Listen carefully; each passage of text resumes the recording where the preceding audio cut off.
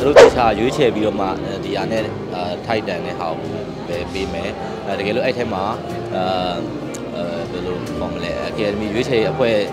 စီးမြင့်တဲ့အဲ့လိုမျိုးမကြိုက်ဘူးဆိုရင်အဲ့စုတွေမပေးဘဲနဲ့ထားခဲ့လို့ထင်ပါတယ်ဟုတ်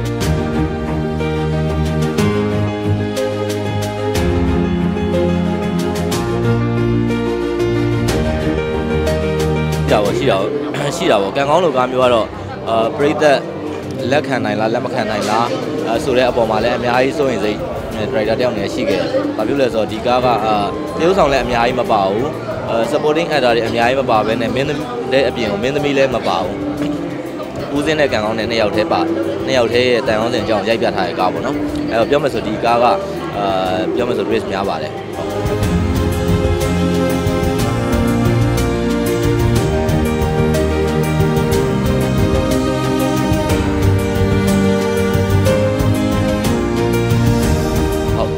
စူးစမ်းနေပါတယ်နောက်ထပ်အဲ့လိုမျိုးပရိသတ်တွေအတွက်ထူးခြားတဲ့ဇာတ်လမ်းမျိုးပေါ့နော်အဲဟိုဟာမြင်မှုနေကြတွေ့မှုနေကြမဟုတ်တဲ့ဇာတ်လမ်းမျိုးဟိုပရိသတ်တွေရှိပို့ဝေးနိုင်အောင်ကျွန်တော်စူးစမ်းနေပါတယ်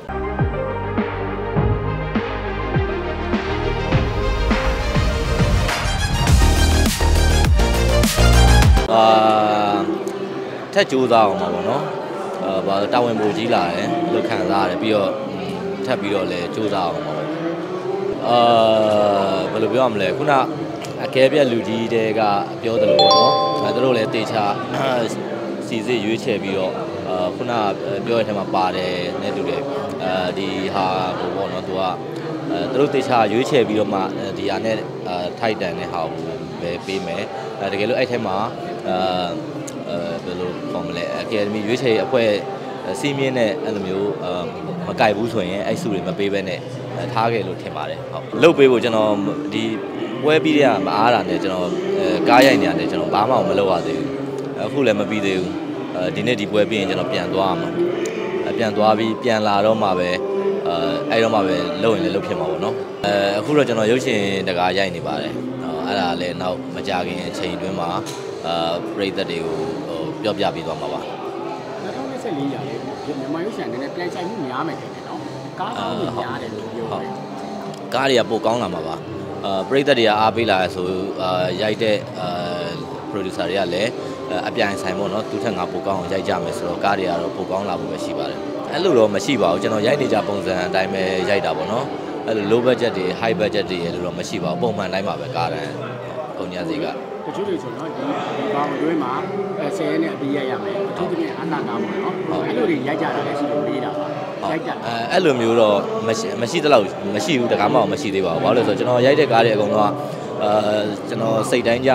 ဖြစ်အောင်တေချာပြင်ဆင်တယ်အဲပြင်ဆင်တဲ့အပိုင်းတွေပြီးတော့မှပဲကျွန်တော်ရိုက်တာများတယ်ပေါ့နော်အဲ့တော့အဲ့လိုရိုက်ဖို့အတွက်မလွယ်ဘူးကြရှိတာပေါ့ရှိတာပေါ့ရှိတာပေါ့ကံကောင်းလို့ကားမျိုးကတော့အာပရိသတ်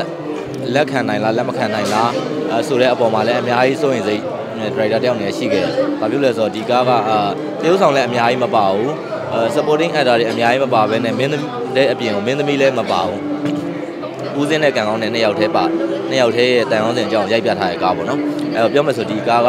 အာပြောမယ်ဆို risk များပါတယ်။ဟုတ်။အဲ့တော့